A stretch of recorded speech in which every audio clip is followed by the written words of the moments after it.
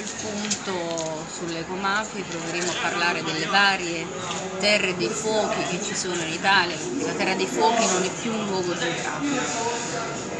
Girando per il, il mio lavoro,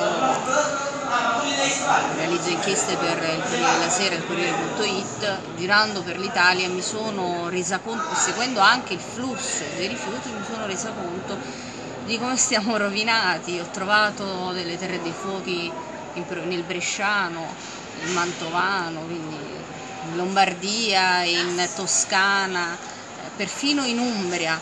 E quindi vale la pena eh, un attimo eh, pensarci eh, rispetto a quella che è la gestione dei rifiuti, rispetto a quella che è la gestione delle scorie, rispetto alla gestione delle discariche, cercare di capire chi c'è dietro le società eh, le, a scatole cinesi che si accaparrano vari appalti vale la pena tenere l'attenzione alta anche sul nuovo business emergenziale, anche questo, delle bonifiche dove quelli che hanno inquinato vorrebbero adesso provare ad entrarci.